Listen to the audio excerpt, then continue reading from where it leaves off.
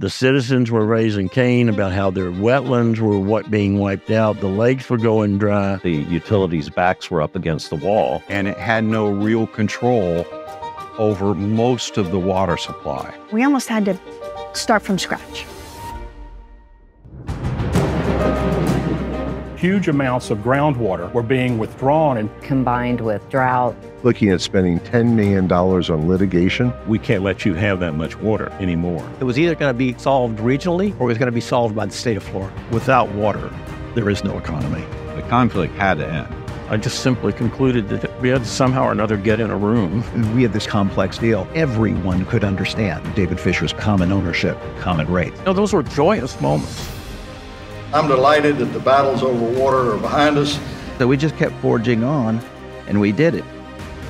To be the model many people from around the world come to see and hear about and talk about. Projects that have been completed by Tampa Bay Water really would be in the forefront of engineering success in the United States. It was a regional solution that worked and worked over decades. That is so cool.